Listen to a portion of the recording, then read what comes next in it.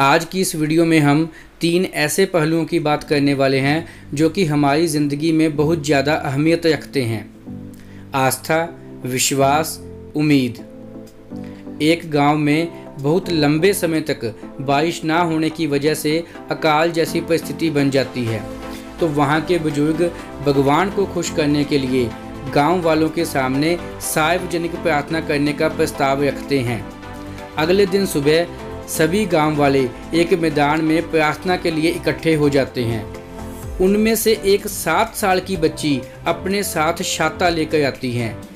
इसे कहते हैं आस्था, क्योंकि उस बच्ची की आस्था थी कि हमारी प्रार्थना से भगवान खुश हो जाएँगे और बरसात होने लगेगी।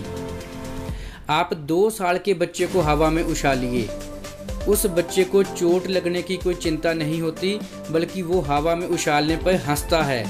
यह होता है विश्वास, क्योंकि उस बच्चे को विश्वास है कि आप उसे पकड़ लेंगे।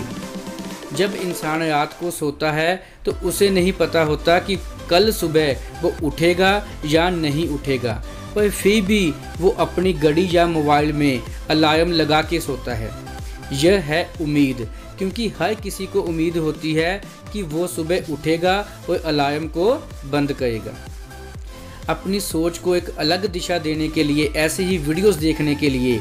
सब्सक्राइब कीजिए आपके अपने चैनल फाइटर ग्रुप को और हर नई वीडियो की अपडेशन के लिए बेल आइकॉन को प्रेस कर दीजिए। मिलते हैं नेक्स्ट वीडियो में। Thank you.